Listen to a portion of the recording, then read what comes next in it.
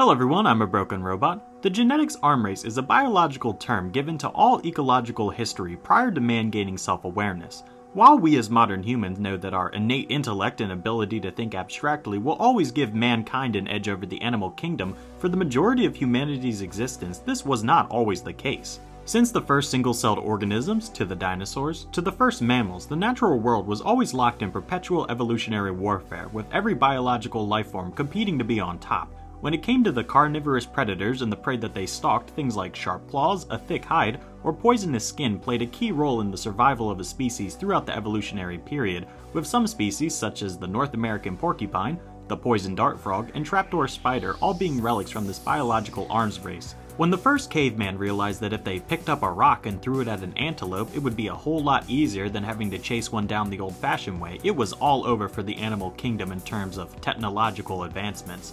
From the simple spear to bow and arrow to the modern hunting rifles, it's obvious that man now dominates the natural world thanks to our technology. This, however, has led to a false sense of security.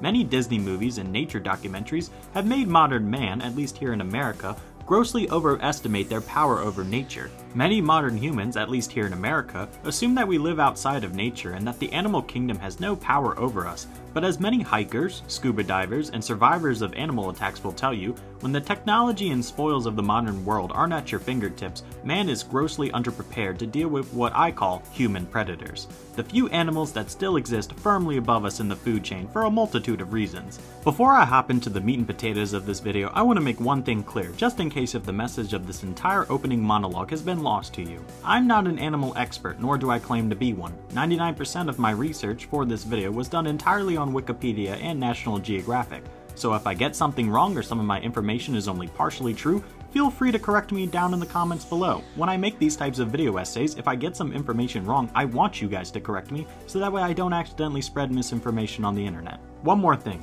I'm well aware that mankind isn't directly under threat by these animals, and as you'll come to find, in many cases, these animals' abilities to sometimes stand up to humanity has led to overhunting or loss of environment, but when the biological push comes to a shove, I highly doubt that the average Joes and Jans would actually be able to escape a rampaging silverback gorilla or outrun a hungry timber wolf. So I don't want anyone here in the comments bragging about how they could wrestle a bear or single-handedly fight off a swarm of angry Tasmanian devils. Yes, most of the animals on this list don't have humans in their diet, but I also think that it's important to understand that that doesn't mean that they're any less dangerous to people if you should come across them in the wild. When it comes to bears, the average human won't stand much of a chance. As the saying goes, black fight back, meaning when you encounter a black bear you want to try and look big and scare the bear off with noise, Brown lie down, meaning that when you encounter a brown bear, your best choice of action is to play dead, and white good night, meaning that in the rare occasion that someone might encounter a polar bear, their chances of survival are slim to none. While according to the World Wildlife Fund there are less than about 20 polar bear attacks a year, many wildlife records from the former Soviet Union painted polar bear attacks as a common occurrence when humans attempted to set up permanent settlements in what's considered to be the polar bear's natural habitat. Polar bears are apex predators in the Arctic, meaning that they are on top of the food chain, and even with our technology and modern firearms, most people would be crazy to assume that they could survive an encounter with a polar bear. They are powerful carnivores with adaptations for hunting seals, their primary prey. Their size and strength make them formidable predators. While some researchers will note that polar bears don't see humans as prey, that depends on how isolated they are and what the local ecosystem is like. As global warming and further human development of the Arctic Circle continues, polar bears have had increasingly more encounters with man, leading to attacks and then the rare death from an attack by a polar bear. Polar bears are known to be grossly hostile towards humans and other polar bears when caring for cubs. It's also been observed that when polar bears are unable to meet their dietary needs, they'll eat humans or human remains, according to Russian military reports. These same military reports also showed that polar bears have been observed to try and break into frontier outposts, whether in search for food meant for humans or the humans themselves. Polar bears are curious animals, and encounters with humans may be driven out of strictly curiosity. However, this curiosity can lead to close and potentially dangerous interactions, especially if the bear feels cornered, or provoked, or is caring for cubs. Polar bears are not only fast on land, but agile in water, and are known to be patient and skilled hunters, being able to track prey for miles off a single scent. While Coca-Cola ads may paint polar bears as chill dudes on an iceberg drinking a Coke, in reality these gentle giants are nothing for mankind to mess with, firmly putting polar bears in the category of a human predator. While the polar bear might be dangerous if you were to accidentally get too close, the same can't be said about the hippopotamus. While cartoons and memes might have led many to believe that these large river piggies are gentle giants, don't be mistaken. Hippos are classified as the most dangerous land mammal in Africa, coming in with a yearly body count of 500 humans killed in hippo attacks. Hippos are known for their aggressive nature and are highly territorial. They can be particularly aggressive in fact when they feel that their territory is being threatened, especially during the breeding season or when protecting their young. While hippos have zero desire to eat humans, they're more than happy to stampede you in an attempt to drag you into the water so that way they can drown you. If you're on dry land away from the rivers and still encounter a hippo, don't assume that you're safe. Hippos are known to actually be more aggressive in the rare occasions that they have to venture far from their regular watering holes. While hippos are massive in size, they are also surprisingly fast, clocking in at a solid 19 miles per hour when running. What makes hippos so deadly on land is their fighting style. When male hippos battle over territory, they use their massive jaws and strong facial structures to try and maul each other to death. When applying the same tactic to a regular human, you could understand how hippos were more than able to rack up such a large body count in just a year. In many cases, encounters with hippos are so dangerous not because of the size of the teeth or the power of the hippo's neck muscles, but simply the weight of the hippos, with a whopping two thirds of all hippo related deaths involving our fragile bone structure being shattered under the weight of the 3,000 to 4,000 pound hippopotamus.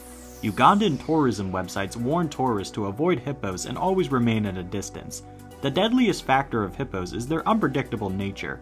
Hippos can exhibit unpredictable behavior, making it challenging to anticipate their actions.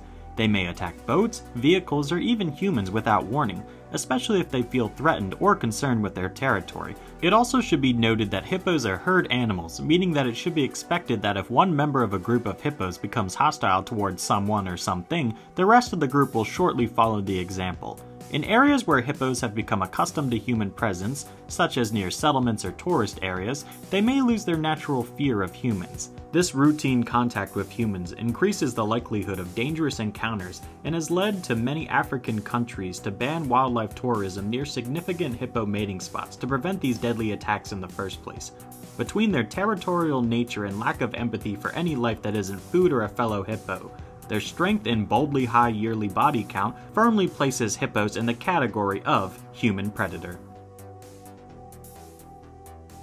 Staying inside the realm of Africa, we'll move from the temperate marshlands of East Central Africa and move north to the savannah. While this realm is full of numerous world-famous predators like lions, cheetahs, and venomous snakes, no predator is as deadly to humans and terrifying as the hyena. While annually hyenas kill around 400 humans a year, this number differs wildly with nations like South Sudan and Ethiopia reporting as many as 100 attacks a month on average. While hyenas tend to be scavengers stealing their prey from lions and other predators, hyenas have been observed to attack weaker isolated humans when in packs. Hyena clans can range from 5 to 80 members, with the larger a hyena clan the more dangerous they tend to be. While a lone hyena or even a few would never dare approach a human, even an elderly or younger human, in groups of seven or more, hyenas have been observed to attack and prey upon humans with animalistic brutality.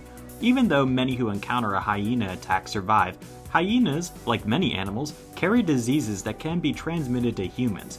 Contact with bodily fluids or bites can pose a major risk to humans, especially in parts of Africa that don't have access to modern medicine. A whopping fourth of all hyena related deaths are linked directly to the transmission of diseases through bites. Hyenas will surround a human and one by one take turns trying to bite at a person's legs in an attempt to weaken and bleed out their prey so that the clan could then fight over the remains once the human has finally died. While some African societies will hunt hyenas to help protect local livestock, in other sections of the African continent the population has been left to overpopulate and outcompete the natural ecosystems in places like Ethiopia and Somalia, which has opened the door for young children and the elderly to be adopted as potential food sources for the hyenas. This can lead to bolder behavior and an increased risk of conflicts.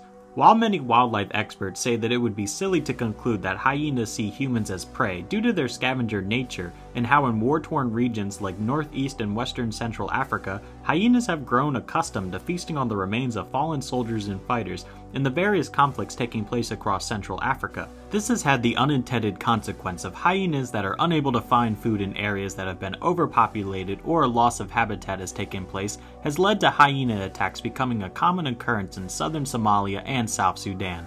While for now hyenas are still considered lowly scavengers, with each year the number of attacks and deaths via hyenas is only increasing, firmly putting them in the category of a human predator. While in modern years most residents of South America see jaguars as gentle protectors of the jungle that will avoid humans and rarely venture out of their natural territory, don't be mistaken. Historically, the people of Venezuela, Colombia, and Brazil have always culturally feared the jaguar as a fierce hunter of the rainforest. While records vary, depending on which source you look at, in the late 19th century, jaguar attacks were a common occurrence in areas that had been deforested. While jaguars are usually more likely to flee than attack when approached by a man, ecologists and wildlife experts in the region have observed that when jaguars can't meet their dietary needs, they're more than happy to adopt humans into their diet, with children being especially common prey for jaguars in western sections of Brazil. While today in 2023 jaguars kill only about 40 people a year, usually in the form of overbearing tourists that get too close, or lost rainforest hikers that are preyed upon after being fatigued from walking, jaguars, like most big cats, actually hate the taste of human flesh. They have been observed to actively prey upon humans for food in dire situations, but won't actively attack humans unless they feel threatened or are absolutely desperate for food. Like polar bears, jaguars are also apex predators and are known for their strength and powerful jaws that can easily make quick work of man. They have a robust build and are capable of taking down large prey including caimans, deer, and capybaras. In some cases, they may see humans as potential prey. Jaguars are extremely territorial creatures, and while they will never specifically hunt humans, it's been recognized that when jaguars feel threatened, they are more than happy to go toe to toe with man. Most reported attacks occur when tourists accidentally stumble upon the den of a jaguar, or a jaguar with young is in the area. Jaguars are known for their stealth and ambush hunting tactics. While their primary prey consists of wild animals, they may opportunistically target domestic animals in areas where humans might already be and jaguar territories overlapping with human territories lead to increasing instances of jaguars' flight or flight techniques, leading to the death of unaware humans that probably didn't even expect a jaguar to show up in their backyard in the first place. While jaguars might not be as vicious as hyenas or have as high of a body count as hippopotamuses, an encounter with jaguars is usually deadly, which is why I consider the jaguar to be a human predator. While the jaguar could easily body humans in most environments, their timid and isolationist nature makes encounters with them very rare. Additionally, since most jaguars rarely encounter humans, a natural sense of fear will help prevent attacks, with this phenomenon being observed and applied to many other predators, like lions, pythons, and timber wolves. These animals could easily be classified as human predators, despite their limited exposure to man, but due to their limited exposure to man, they are more likely to see humans not as animals but as objects. The same, however, can't be said about the next animal on our list. The saltwater crocodile, sometimes called the Siamese caiman, has spent the last thousand years in Southeast Asia and Southern Africa living in and around humans, whether it be in the lagoons of Burma, the rivers of Indonesia, or the bogs of Mali. While it varies depending on geographical region, saltwater crocodiles have developed a sense of power over humans simply through proximity. While crocodiles don't see humans as prey, unlike jaguars, they no longer have any sense of naturalized fear of humans, making attacks from crocodiles a common occurrence in some parts of the world. In places like East Timor, in some of the more swampy regions, it's a common occurrence to see farmers missing limbs from crocodile attacks. And in sub-Saharan African nations, the government has to play PSAs on the TV and radio to remind mothers to not let children under 12 play alone near rivers, as crocodiles are known to target children in regions where attacks are more common. While the amount of attacks depend on the region, around thousand people die in crocodile attacks every year, and while reports vary in estimation, an estimated 20,000 attacks by fresh and saltwater crocodiles take place every year. Crocodiles in general are known for being very aggressive, and they are particularly aggressive when they feel threatened or are concerned about the limits of their territory. They are ambush predators, often relying on surprise to catch their prey, which often makes attacks on humans very deadly due to this factor. If a crocodile perceives a human as a potential threat or prey, it may react aggressively without thought. Crocodiles are infamously known for taking limbs due to their infamous tendency to not let go of something once it's within their jaws. Crocodiles are territorial animals and they may defend their territory aggressively to the death. Encountering a crocodile in its territory, especially during the breeding season when they can be more aggressive, increases the risk of an attack.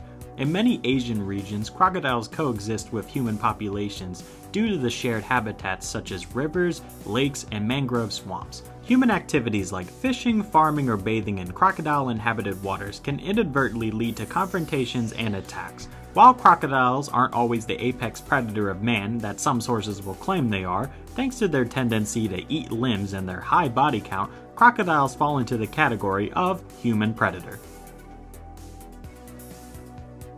While there are numerous other animals that we could place on this list, it would be absolutely fruitless, since science has already identified the most deadly of all human predators. While a tiger or killer whale might be able to easily body the average man, they'll only attack humans in rare occasions or if they're desperate for a food source, with many of the animals I've actually mentioned in this video actually being endangered species directly due to human interaction. But the most deadly human predator has a body count of a whopping 700,000 deaths per year, this beast of nature actively stalks and preys upon humans in every region of the world except Iceland and Antarctica.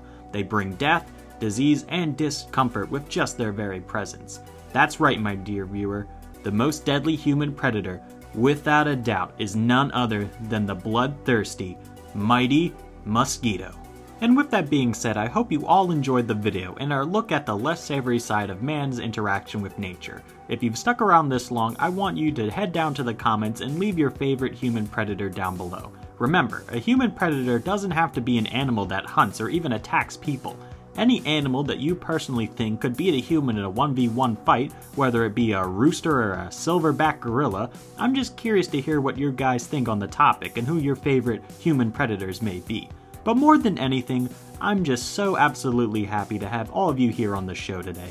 If you like what you see, why not take a moment to leave a like? If you like this video, not only does it let me know that you guys want more content, but it personally helps me out in the YouTube algorithm, so hey, thanks a bunch. If you haven't already, why not subscribe? That way you won't miss my weekly video essays, reviews, and commentary on whatever topic of the week has piqued my interest.